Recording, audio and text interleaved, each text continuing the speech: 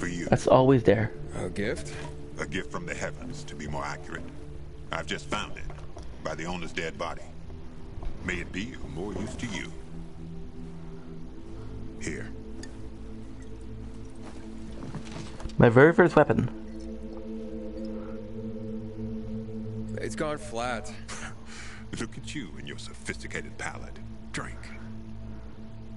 Who would have thought the end of the world could be so peaceful? Yeah, at least until night falls. True. I wish Crane could have seen this. Who? Doesn't matter.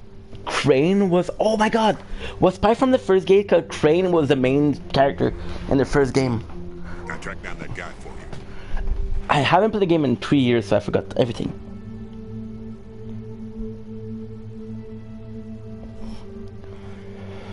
Why didn't you say so earlier?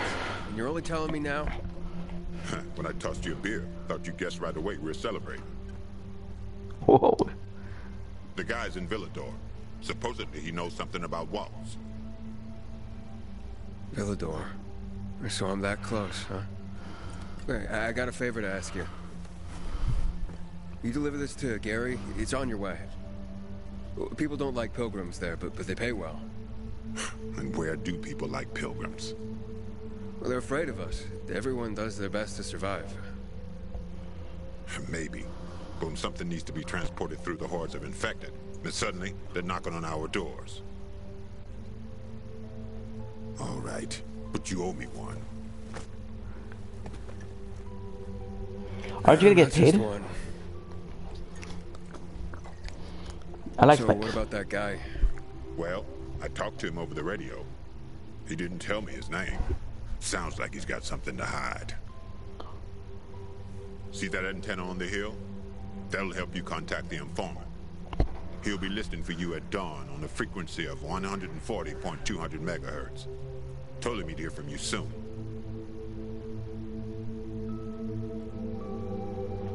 Do you know what he wants in return? What does he want in return? Didn't say. But he didn't sound like the kind of guy who does things for free. I don't think that kind of guy exists. What? What about me? You're an old fart who likes racing me, and makes me ask around about his crazy girlfriend. Hey, hey, hey. She's not crazy. Jane's just maybe, well, a little hot-headed. And she's always getting herself into trouble. But if you could get a load of her, Whoa, all right. Still too early in the evening for that sort of talk. eyes. I was going to say eyes. Beautiful. Steely. Huge. Never heard anyone get so worked up about gray eyes. Because you don't know shit about the world, let alone women. Eh, you're probably right. I'm telling you, I'll finally find Jane. We'll set up a house, Oh, live there. No one's gonna drive us out. And I'll stop wondering like a moron. I'll drink to that. you actually seem like a really good guy.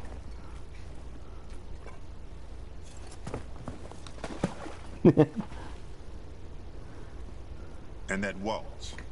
What's his deal? Is he family? No, not at all. Then why are you looking for him? Will you tell me sometime? Yeah, yeah, one day. Well, my time's up. So when will I see you again, huh? In another two years? Maybe. Take care, man. I hope you find that Waltz guy, or whoever you're looking for. And remember, 140.200 megahertz. At dawn, the guy's waiting for you.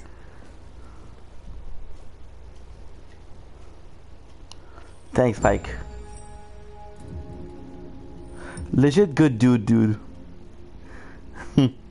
so now let's check out because we have a new weapon. Go to the radio. Okay, so we have the classic Skyrim um, quest line. Not quest line, dude. The um, quest level. Uh, I want to see the the level because I know my weapon won't last forever, and it's one of the first weapons, so it's not.